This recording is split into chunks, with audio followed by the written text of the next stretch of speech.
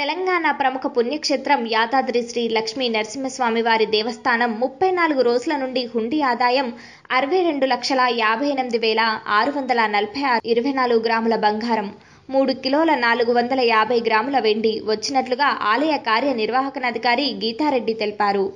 ఈ హుండీ లెక్కింపులో ఆలయ ఉద్యోగులు సిబ్బంది మాస్కులు ధరించి భౌతిక దూరం పాటిస్తూ చేతులకు గ్లౌజులు ధరించి హుండీ లెక్కించారు.